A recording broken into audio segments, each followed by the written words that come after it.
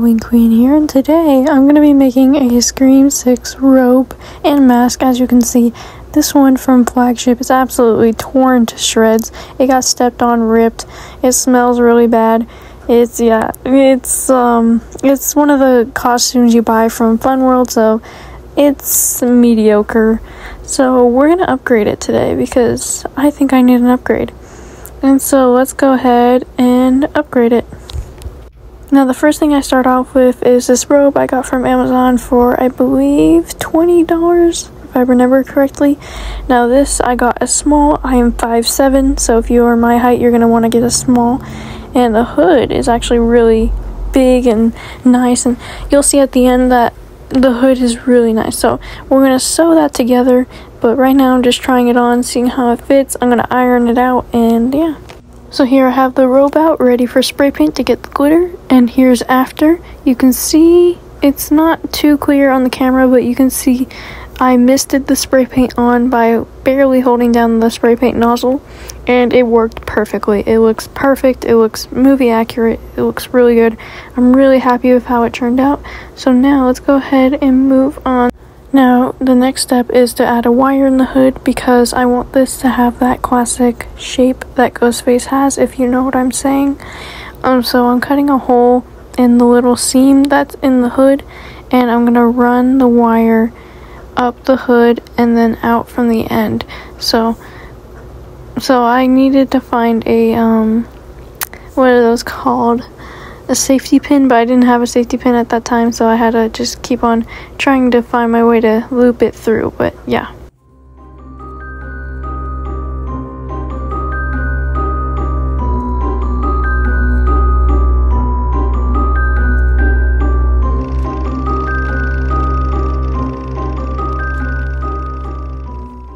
Now I'm working on the sleeve and here I'm going to take elastic and run it through the small hole in um, the sleeve. You can see here I got the elastic. It's a little too big, so I will have to cut it in half. But I'm going to run it through the sleeve and scrunch it, and that's how I'm going to make the sleeve. As you can see, I'm cutting a small hole here, and then I run it through. Make sure to have a safety pin. I forgot to grab a safety pin, so uh, I figure out how to get a safety pin after this, but yeah.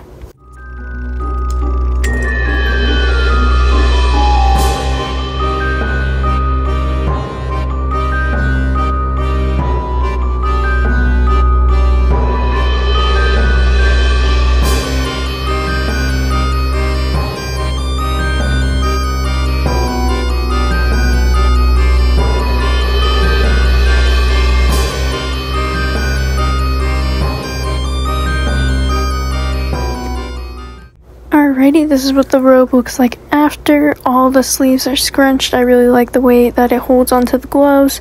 Looks really nice. And now we are ready to move on to the next step, which is sewing the robe together.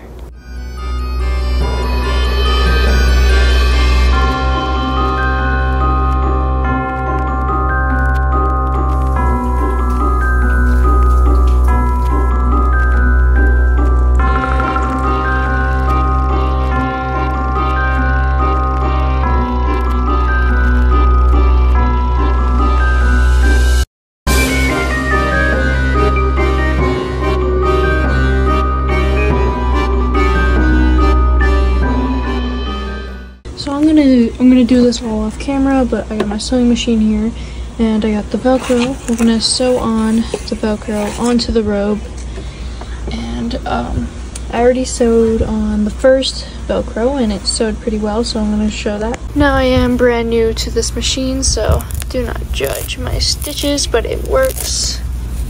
See right here?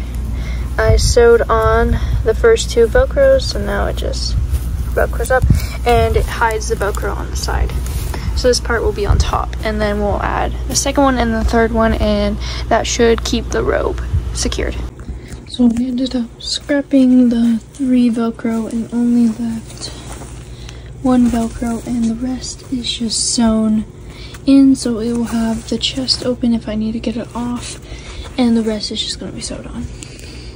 So now what I'm doing is cutting out the streamers. Sorry for the footage being blurry. I don't know why it's blurry, but I'm cutting out the streamers for the rope. and of course there's three on each side, adding up to six. I cut two long ones and one short, medium, larger one.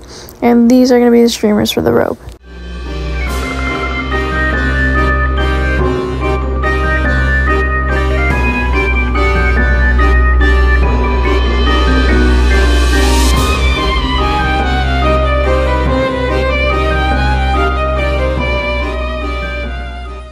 Now after I double sewed those and ironed them flat, I am now cutting out the triangles in my robe and I'm just doing this all along the bottom just so it looks more accurate.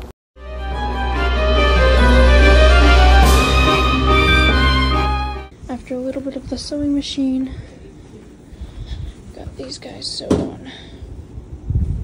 First sleeve and then second sleeve. The process or the progress we have.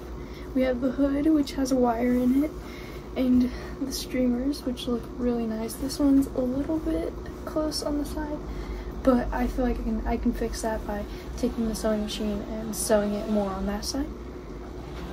But it overall looks really good. I'm happy with the sparkle. It's not too much. At least you, it doesn't look too much. And I'm happy with the Velcro. It doesn't look like it's a seam. Alrighty, now it is time for the second part and my favorite part. We're going to be customizing the ghost face mask. As you can see, I have a Ghostface Fun World Ultra White mask and I believe this is, um, I believe this is the Scream 5 one, but I'm detagging it here. Close your eyes if you don't like to see that, but don't worry, I keep all my tags. I will show you in a second that I do keep them all, just in case I do want to resell them. And right here, I do have them all for my mask. The only one I have not detagged is my 25th anniversary, which I do not plan on wearing that one or ever doing anything with that one. So let's get back to the process. So you're going to need a latex glove.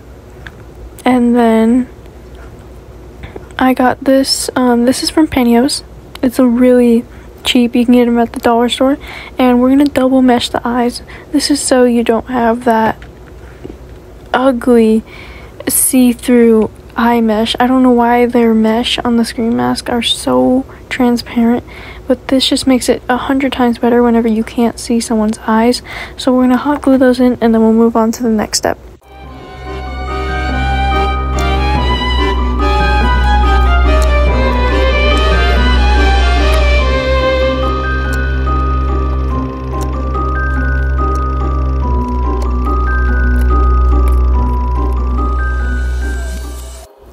Alrighty, my mask is now all double meshed, so now we are ready to move on to the next step. But first, I'm going to check it out. You can see here, it's got some blue spots on it, it's got some dirt marks on it. I don't know why this one's so dirty compared to my other ultra white I had. But anyway, we're going to move on to our first step, which is E6000 glue. And you're going to get the black E6000 because this is going to make it easier on yourself in the harden. Uh, wear a mask while you're doing this. Please do. Um, don't want to get those fumes in your lungs. Trust me, the mask helps.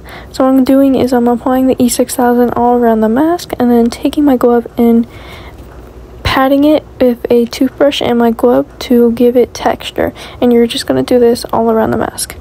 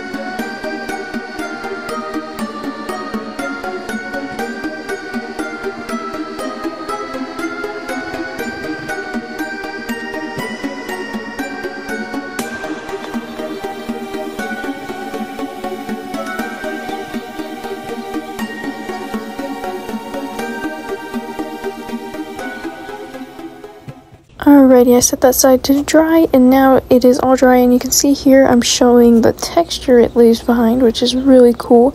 And so let's go ahead and move on to our next step. So our next step is we need to make this mask have a base coat of a dark color like gray or black. So what we're going to do is we're going to grab our gray paint and black paint and we're going to mix those together. If I show here, here's my gray paint. I use dark gray from Apple Barrel. You don't need any fancy paint. I just put it into this cup, which the paint is dry in there, so just put it in the cup and then you're going to also want to water it down, not too much, but um, water it down enough that it spreads and glides around the mask really well.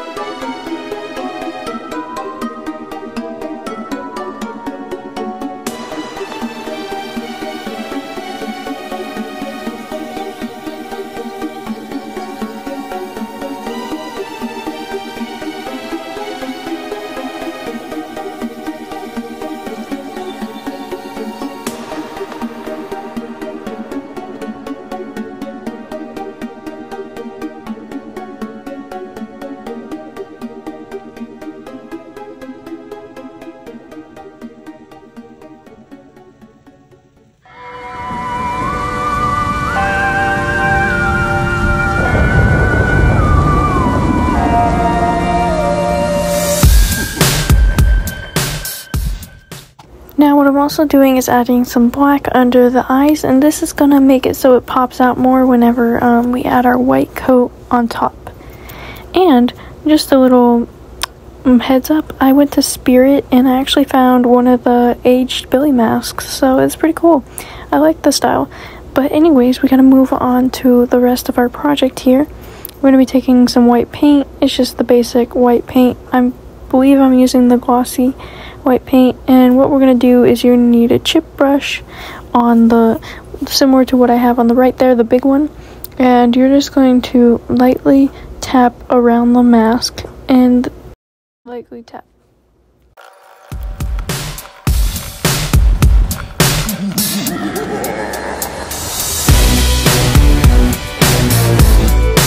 Alrighty, after we did that, we're going to grab some tan paint and some water and we're going to water it down. I added a little bit more in the cup. There we go. So now you're going to grab a tissue and you're going to just basically water down where you painted and then take your tissue and dab. You don't want to wipe it, just dab. And you're going to do this all around the mask and that's going to give it its looks like it's been out in the sun, it's been decayed, and it's going to give it that yellow tint.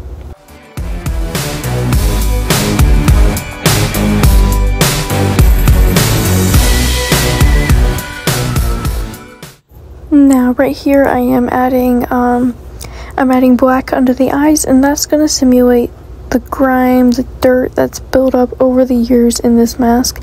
And so I just wanted to add that little hint in. I also added um, I also took brown paint and dry brushed it on the top parts of the eyes and the under parts of the eyes.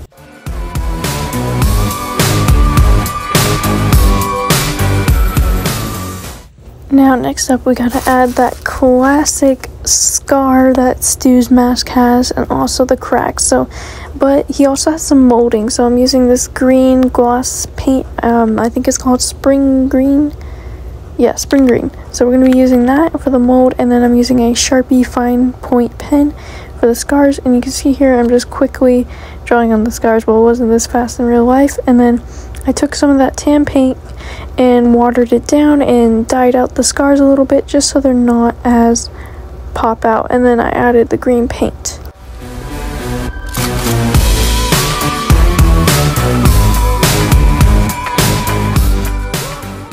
Now I did add red red dye at the um, bottom part of the eyes just to make it so it pops out a little more and then I sealed it with a clear spray paint. Now everything is all finished, so let's show the final product. Now I just want to say a big thank you to everyone who supported me throughout this journey because if you didn't know, this video is actually a special video of my 400 subscribers special. So I'm very happy to have you guys on my side. It keeps me motivated to keep posting, and I figured why not just put the mask and the robe in the same video and this will be like a little special treat for you guys. So i hope you enjoy this little montage of me in my custom scream 6 mask and robe.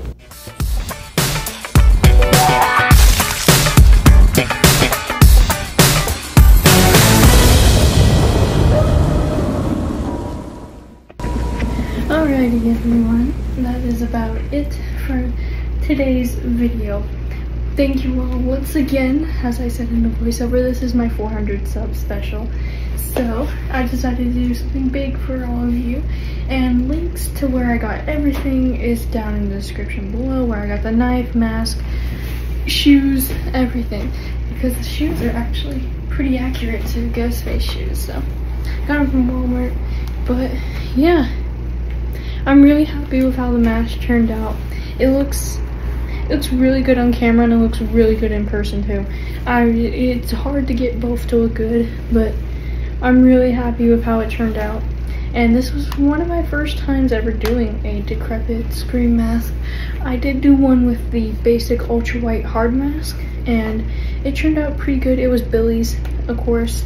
This one's Stu's. So I might sell that one in the future. I'm not sure yet. But then again, I am very happy how the robe turned out. I'm happy with everything that was done. And once again, I could not have done this without you guys.